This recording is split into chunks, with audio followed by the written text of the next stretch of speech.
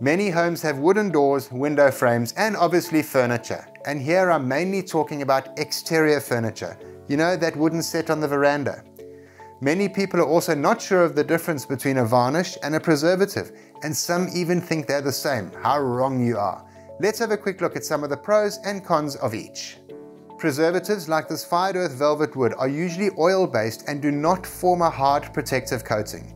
Now what an oil does do is it feeds and nourishes the wood. It gets absorbed in and sits inside the wood. It hydrates it. As wood fibers dry out over time, they can flake off from the actual timber. Now have a look at this timber on an old bar counter which is kept outdoors. It's not in great condition and you can see how the wood soaks up the oil when I paint it on. Now oils need to be applied regularly and it depends on your climate and factors such as if they're kept in direct sunlight and so forth, but anything from 3 to 6 months. You'll see close up that the wood is starting to dry out. Give it a light sanding and apply another coat, preferably with a brush, and make sure you work it into the corners.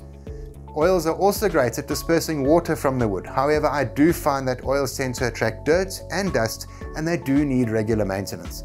Personally, I prefer using Fired Earth Velvet Wood Preservative on all my undercover timber. A varnish, on the other hand, forms a hard protective coating that is almost fully water resistant. It's UV resistant and for timber that is exposed fully to the elements like the sun, a varnish does last longer, thereby reducing ongoing maintenance. If applied properly, and that's important here, always read the application and preparation instructions. It can last as long as five years before having to be redone. Now unfortunately, varnish once it has dried cannot expand and contract with the heat and over time it will start cracking, peeling and flaking off.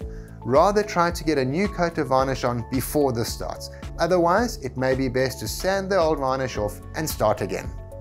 Now timber is beautiful and timeless to look at, but it does need to be looked after, and I find the maintenance is worth it at the end of the day.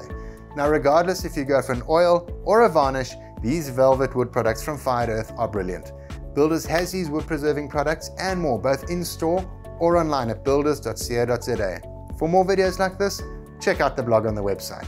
Get to Builders, get it done.